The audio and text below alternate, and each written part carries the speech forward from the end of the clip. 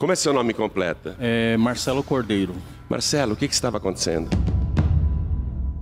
É, há cerca de um ano atrás, é, eu fui acometido de um câncer.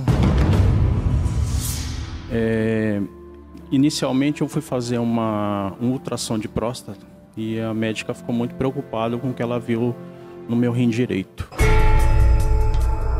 Aí ela me pediu para que eu fizesse uma ressonância magnética. Eu fui fazer essa ressonância. Quando eu peguei o resultado e eu abri, por curiosidade, abri uma fenda no chão, porque era um câncer maligno de 3 centímetros e meio. Na próstata ou no rim? No rim, no rim direito.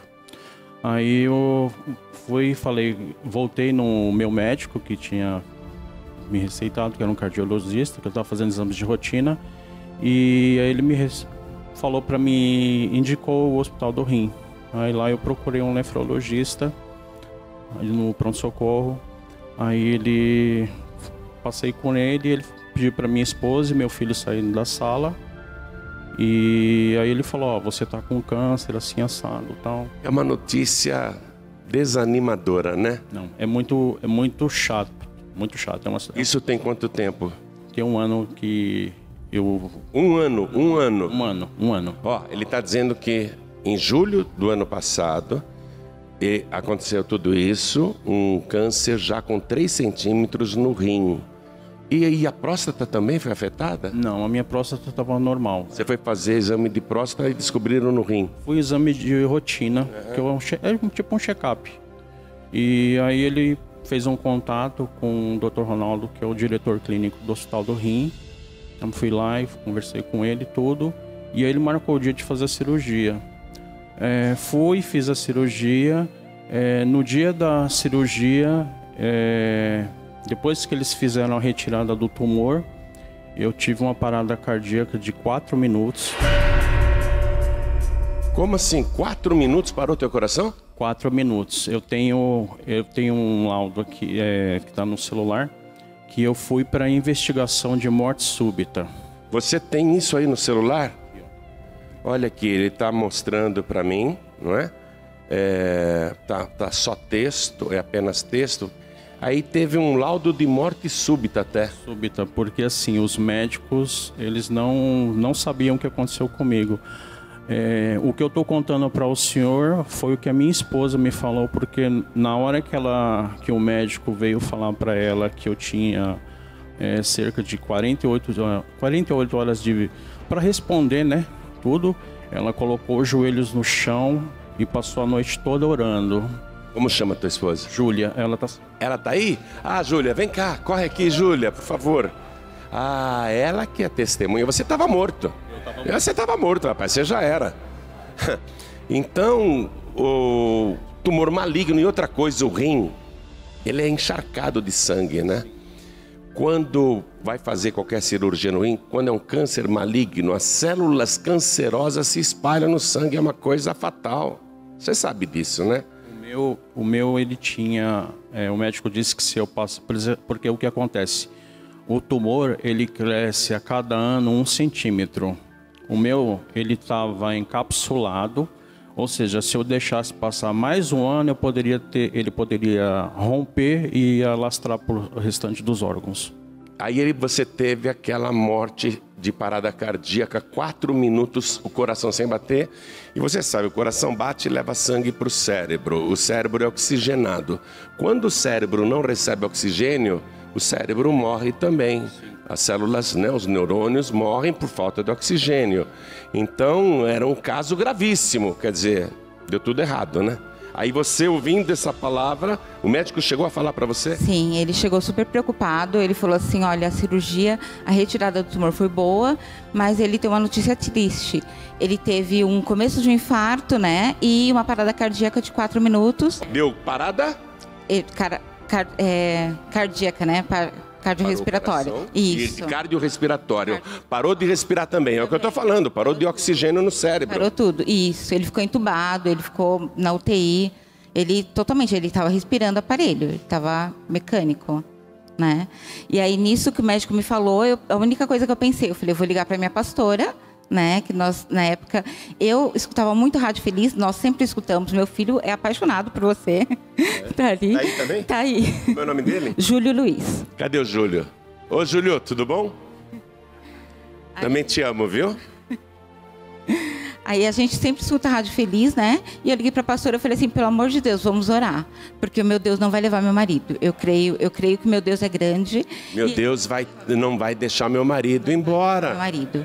Aí eu me ajoelhei e eu falei assim, Deus vai fazer, eu creio que eu vou clamar e Ele vai me ouvir. E é de joelhos. Aí eu me ajoelhei, eu comecei a orar junto, eu escutando com a rádio ligada, orando a noite inteira. Eu acordei seis horas, acordei não, eu levantei seis horas e falei, eu vou na UTI ver ele, né? Isso eu passei, eram umas oito horas da hora que o médico me avisou. Eu fiquei até seis e meia da manhã, seis e, seis e meia, orando e falei, agora eu vou na UTI para saber notícias, porque ele falou, as 24 horas são essenciais para saber se ele vai resistir ou não. Nisso que eu fui visitar ele na UTI, ele estava totalmente entubado. Eu cheguei, é, ele aquele monte de aparelho, e eu coloquei minha mão. Ele começou a se agitar. Aí os médicos me, me empurraram, me tiraram de perto, falou assim. Você pôs a mão nele, na cabeça dele. Isso. Ele estava imóvel, estava imóvel, inconsciente e tudo, né? Sedado. Sedado. Coma, em coma, morto. Aí você colocou a mão nele. Quando você pôs a mão nele, passou fogo. Tá, isso. Aí os aparelhos começaram a mexer, apitou tudo. Os médicos, sai daí, sai daí, né? Os médicos me puxaram para sair, só que aí ele abriu os olhos, aí ele abriu e ele falou, eu não consigo, tentou falar, eu não consigo falar. Aí eu falei, você está entubado. Eu falei, é Deus. Tava com aquela mangueira. Sa... É. Aí eu já saí de lá toda feliz, aí eu já liguei para todos os pastores, falei assim, olha, é Deus. Ele tá, ele, ele curou, eles só vão tirar, eu tenho certeza que Deus curou meu marido. Então eu falei para ele, em uma noite Deus te curou de um câncer e de um infarto. Te curou do infarto, te curou da parada respiratória, te curou da morte cerebral, é. te curou o câncer de, de uma vez. Olha, gente, o que ela está falando é maravilhoso. Quando ela pôs a mão no marido lá na UTI, e Jesus disse, né? Os que creem em mim, em meu nome colocarão as mãos sobre os enfermos e os curarão. Ela creu, ela pôs a mão no marido, o cara tremeu, estatelou, abriu os olhos e quis falar com aquela mangueira enorme na boca. Não consigo falar. Eu não sei porquê. Acordando de repente, quer falar com aquela dificuldade e nem sabia que estava entubado. Não sabia, não, não tinha ciência nenhuma. E tudo que eu falei para o senhor, só, a única coisa que eu me lembro foi que na hora que eu estava na mesa de cirurgia, eles me perguntaram o que eu fazia, qual era a minha profissão. Dali para frente eu não lembro nada. A sensação é, que eu falo para todo mundo é, é igual você desligar um aparelho, você tirar ele da tomada. Você não tem mais consciência de nada. E eu agradeço muito a Deus, muito a Deus de estar aqui sem sequela. É isso que eu ia perguntar, não ficou sequela nenhuma? Nenhuma, nenhuma. Nem... Memória tá boa? Memória tá boa. Coração tá bom? Tá bom, tá o tudo rim? bom. Tá. Eu tenho feito, mudei minha, meu tipo de alimentação, claro. entendeu? Claro.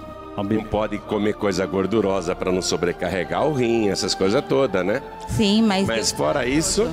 Deus é maravilhoso, ele está perfeito. Porque era um câncer maligno que teria se espalhado, quer dizer, está perfeito, não tem tá câncer. Perfeito, está perfeito. Olha, o testemunho seu é um milagre. Quatro minutos morto. O médico deve ter colocado a mão na cabeça ter falado, tô lascado, agora vou ter que responder um processo, morreu na minha mão, e agora, só que o médico e a equipe não sabia, né? O Deus que vocês servem, o, o, o quanto vocês são amados por Deus. E Deus falou, não vou deixá-la viúva não. não. Júlia, eu não vou te deixar viúva, Deus falou, e não vou deixar o Júlio, né? O Júlio, não vou deixar ele órfão não vou ressuscitar teu marido, não foi isso? Sim, sim, ele fez isso. Jesus fez isso e fez muito mais na vida dele. Eu falo assim, nossa, Marcelo, você é muito abençoado, eu sou muito abençoada. Tipo, nós começamos, fizemos o propósito do Monte Sinai e um dos pedidos dele já foi realizado. Já foi? Já. Então, Marcelo, tudo certo. Graças a Deus. Você está feliz? Muito. E, e a ex-viúva está feliz? Muito feliz. E o ex-órfão está feliz? Glória a Deus. Vamos aplaudir ao nome de Jesus. Lindo testemunho, hein? Parabéns. Continua firme, viu?